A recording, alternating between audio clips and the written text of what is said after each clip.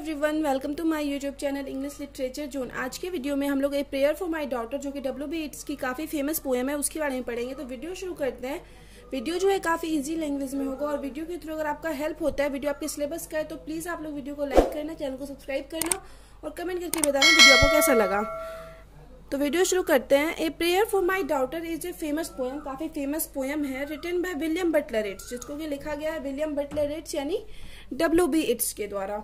Who was known as an Irish poet जो कि जाने जाते हैं एक आयरिस पोइट के रूप में ड्रामाटिस्ट और राइटर के रूप में। And one of the foremost figure of twenty century और ट्वेंटी सेंचुरी के काफ़ी फ़ेमस फिगर के रूप में भी जाने जाते हैं। The poem was written in nineteen nineteen poem को नाइनटीन नाइनटी में लिखा गया and originally published in his collection Michael Robartes and the dancer उनके कलेक्शन है पोएम का कलेक्शन था, जिसमें ढेर सारा पोएम्स था, उन्हीं उसी कलेक्शन में इसको पब्लिश किया गया पहली बार 1921 में।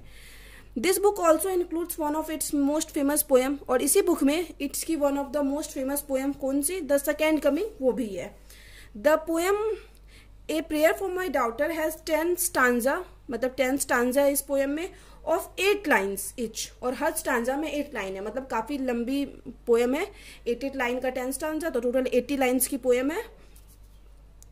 फिर आगे है the lines are written in iambic pentameter line को आयम्बिक पेंटामीटर में लिखा गया है एंड आयम्बिक टेट्रामीटर दोनों में लिखा गया है। The first person speaker of the poem is a new father first person जो है इस पोएम का, जो स्पीकर है, वो एक नए फादर है, जो कि डब्ल्यू बी बेट्स है मतलब वे तुरंत वो पिता बने हैं और इस पोएम को लिख रहे हैं। तो आगे है, फिर आगे। It is a intentionally personal poem personal poem है। Yeats wrote this poem a few weeks after Yeats daughter Anne was born Yeats ये पोएम तब लिख रखे थे जब उनकी डॉटर मतलब का बर्थ हुआ था, उसके कुछ वीक्स बाद लिख रखे थे। This poem speaks about the anxiety share by all fathers ये पोएम है ना एंजाइटी यानी चिंता के बारे में बात दिखाता है, चिंता को दिखाता है सभी पिताओं के, सभी फादर्स के। पोएट थिंग्स पोएट यहाँ सोचते हैं how his daughter will face कि उनकी डॉटर कैसे फेस करेगी, उनकी पुत्री। Coarse and vulgar world. ये जो असभ्य और अशिष्ट जो वर्ल्ड है, जिसमें तरह तरह की बुराइयाँ हैं तो इस वर्ल्ड को कैसे फेस करेगी? क्योंकि उनकी बेटी अभी बहुत छोटी है तो ऐसा पोएट सोचते हैं। In the beginning of the poem poem के बिगनिंग में poet draws the image imagery of nature poet यहाँ पे एक इमेज ड्रॉ करते हैं नेचर का। That blazing storm is raging outside मतलब बहुत तेज स्ट्रॉम यानी तूफ़ान बाहर, बह रहा है, चल रहा है। He introduce his daughter Anne अपनी डॉटर को इंट्रोड्यूस करते हुए स्लीपिंग इन द क्रेडल जो कि सोई हुई है क्रेडल यानी पालने में। So the poet apprehends how his daughter will face the coarse and the true turbulent situation of the modern world तो पोएट यहाँ पे so the poet apprehends poet यहाँ पे और शंका, चिंता में है। How his daughter will face the coarse मतलब कि कैसे उनकी डॉटर फेस करेगी इस असभ्य एंड टर्ब्यूलेंट यानी इस अशांत सिचुएशन को of the modern world modern world उस टाइम का जो सिचुएशन था, उस सिचुएशन को कैसे फेस करेगी? दैट्स वाई ही प्रेस इस वजह से वो प्रे करते हैं and for an hour I है। ये पोएम से लिया गया लाइन है। फोर लाइन है। फिर आगे है the poet is second to dream a terrible future for his daughter अपनी डॉटर के लिए एक मतलब बहुत ही भयावह फ्यूचर का सपना देखते हैं। When she will grow grow up जब वह बड़ी ग्रो अप जब वो बड़ी हो जाएगी तो पोइट यहाँ पे सपना देखते हैं कि, उनकी पुत्री जो है जब बड़ी हो जाएगी तो उसका फ्यूचर कितना मतलब खराब होगा कितना प्रॉब्लम होगा। The imagery of nature actually reflects the unrest politic political situation, जो इमेज पोइट ड्रॉ किए हुए थे कि बाहर स्ट्रॉम चल रहा है, तूफ़ान चल रहा है, बहुत तेज। तो वो क्या दिखाता है? Unrest political situation during the Irish movement Irish movement के दौरान दौरान मतलब आयरिस आंदोलन के दौरान जो मतलब जैसा सिचुएशन था इन हिज ऑन कंट्री उनकी कंट्री में and first world war first world war के टाइम जो वर्ल्ड का कंडीशन था, उस कंडीशन को दिखाता है यहाँ पे जो पोएट जो नेचर का मतलब इमेज ड्रॉ किए थे। फिर आगे है द पोएट जो पोएट है solely that her her daughter should be endowed with some certain good qualities poet यहाँ पे सॉलिटिस्ट यानी अनुरोध करते हैं, चाहते हैं, प्रार्थना करते हैं कि उनकी पुत्री में जो है ना कुछ मतलब गुड क्वालिटीज हो। कुछ मतलब गुड क्वालिटीज भी उनकी पुत्री में हो, उनकी डॉटर में हो with good qualities to protect herself ताकि वो उस गुड क्वालिटीज के थ्रू खुद को प्रोटेक्ट कर सके। He desire her to be virtuous and good. वह चाहते हैं कि उनकी पुत्री जो वर्चुअस यानी धार्मिक और गुड अच्छी भी हो। She must be possessed with the gift of beauty हाँ उसके पास ब्यूटी वाला गिफ्ट तो हो ही। Which will not distract other लेकिन वो किसी और को डिस्ट्रैक्ट ना करे। द पोएट अडर्स अटर्स अगेन फिर पोएट यहाँ पे आगे बोलते हैं may she is granted beauty and yet not ये लाइन फिर से पोएम से ली गई है। फिर आगे है she should have beauty not vanity poet बोलते हैं यहाँ पे, उसके पास क्या हो? ब्यूटी हो, लेकिन वैनिटी नहीं हो। सुंदर हो, लेकिन उसके अंदर घमंड ना हो।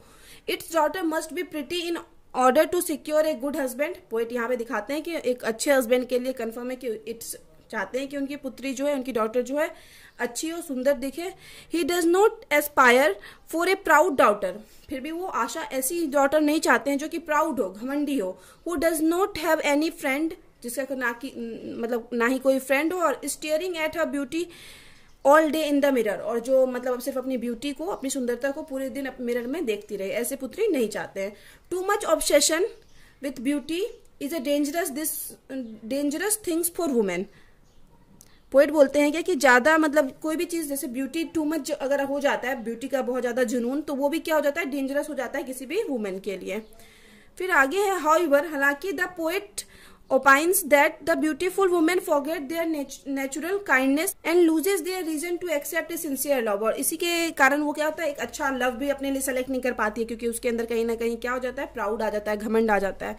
Then the poets refer to Helen अब पोइट यहाँ पे हेलन को याद करते हैं ए ग्रीक मैथोलॉजिकल कैरेक्टर जो कि ग्रीक का मैथोलॉजिकल पौराणिक कैरेक्टर है। Despite having the most enchanting beauty जिसके पास बहुत ज़्यादा अट्रैक्टिव ब्यूटी था she commits a great mistake लेकिन वो क्या की? बहुत बड़ी गलती की। एज सी एलॉप्ड विथ ए फूल एक फूल एक मूर्ख के साथ वो क्या की? भाग गई। Paris the prince of Troy Paris जो कि प्रिंस था ट्रॉय का and this ultimately leads to the way of a catastrophic तो इसी वजह से क्या हुआ? वो ट्रॉय के साथ तो भाग गई, जो भी हेलन थी। लेकिन इसी वजह से वहाँ पे क्या हो गया? प्रलयकारी डिस्ट्रक्शन विनाश हुआ of the city of Troy Troy के राजे के साथ भागी थी और वहीं पे मतलब बहुत प्रलयकारी विनाश हुआ। फिर आई द पोइट सेज पोइट आगे कहते हैं that beautiful women are too proud कि जो ब्यूटीफुल वुमेन होती है, बहुत ज़्यादा घमंडी होती है।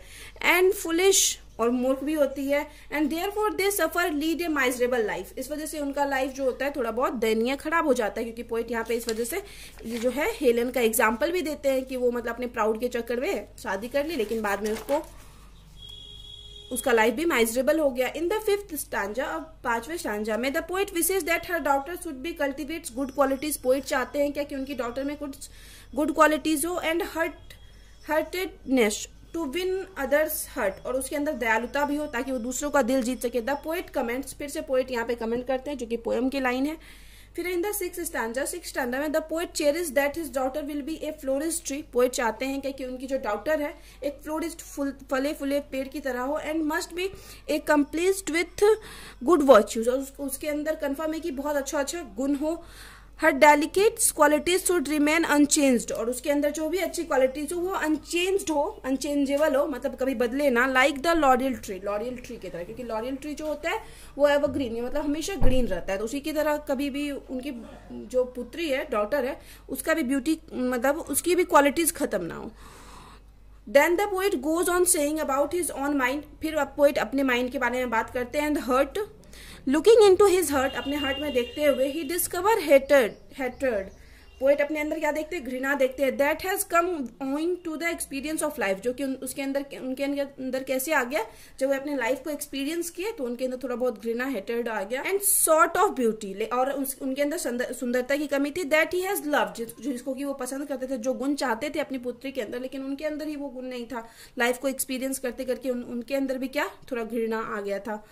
सो so, ही होप्स इसलिए वो होप करते हैं, आशा करते हैं to be away from hopes her daughter to be away from such evils कि उनकी जो पुत्री है, बेटी है, वो ऐसी बुराइयों से दूर रहे। Finally the poet concludes his prayer finally poet अपना प्रेयर कंक्लूड करते मतलब ये बोलते हुए खत्म होता है विथ ए फाइनल विश एक फाइनल विश के साथ that her daughter should be get marriage with a good husband कि उस उनकी जो बेटी है उसका जो शादी हो एक अच्छे हस्बैंड के साथ हो फ्रॉम एन एरिस्टोक्रेटिक फैमिली जो कि एरिस्टोक्रेटिक एक संपन्न परिवार का हो अच्छा परिवार का हो पैसा वाला हो और साथ साथ ही साथ बहुत सारा क्वालिटीज भी हो उसके अंदर अच्छी qualities hatred and arrogance will have no place in that family जहाँ पे हेट्रेड यानी घृणा या फिर घमंड या फिर प्राउड वाली कोई बात भी उ, उस चीज़ का कोई जगह ही ना हो इस फैमिली में. According to the poet poet के अनुसार beauty and innocence come from the established tradition की ब्यूटी और इनोसेंस जो आता है, वो एक स्टेब्लिश स्टाब्लिश ट्रेडिशन परंपरा से आती है। So the poet love for traditional aristocratic values तो यहाँ पे जो है पोएट का जो लव है, प्यार है ट्रेडिशनल एरिस्टोक्रेटिक वैल्यूज़ से मतलब परंपरागत जो कुलीन, जो भी एरिस्टोक्रेटिक फैमिली है, उनके गुणों से वैल्यूज़ से is reflected in this stanza इस स्टांजा में हम लोग को देखने को मिलता है। फिर आगे है। दस इस प्रकार a prayer for my daughter is a reflection of poets love क्या है? रिफ्लेक्शन है पोइट्स के लव का, प्रतिबिंब है। फॉर इट्स डाउटर उनकी डाउटर के लिए जो उनका लव है, उस चीज़ को दिखाता है। एंड वंडरफुल्ली पोर्ट्रेज और बहुत अच्छी तरह से यहाँ पे चित्रित किया गया है फादर्स कंसर्न एक पिता एक पिता के कंसर्न को फॉर हिज डॉटर मतलब एक पिता के चिंता को दिखाया गया है उसकी डॉटर के लिए which becomes a universal emblem emblem of the paternal love जो कि एक यूनिवर्सल चिन्ह है। पैटर्नल लव का, पैतृक प्रेम का। तो यहाँ पे वीडियो खत्म होता है। वीडियो अगर आपको अच्छा लगा, वीडियो के थ्रू आपका हेल्प हुआ तो प्लीज़ आप लोग वीडियो को लाइक करना चैनल को सब्सक्राइब करना और कमेंट करके बताना वीडियो आपको कैसा लगा। और वीडियो का पीडीएफ चाहिए तो आप टेलीग्राम पे ज्वाइन कर सकते हो। टेलीग्राम का लिंक आपको इस वीडियो के डिस्क्रिप्शन में मिल जाएगा। और वीडियो से रिलेटेड कोई डाउट है तो आप इंस्टाग्राम पे टेक्स्ट कर सकते हो। इंस्टाग्राम का लिंक भी आपको इस वीडियो के डिस्क्रिप्शन में मिल जाएगा। तो मिलते हैं नेक्स्ट वीडियो में नेक्स्ट टॉपिक के साथ।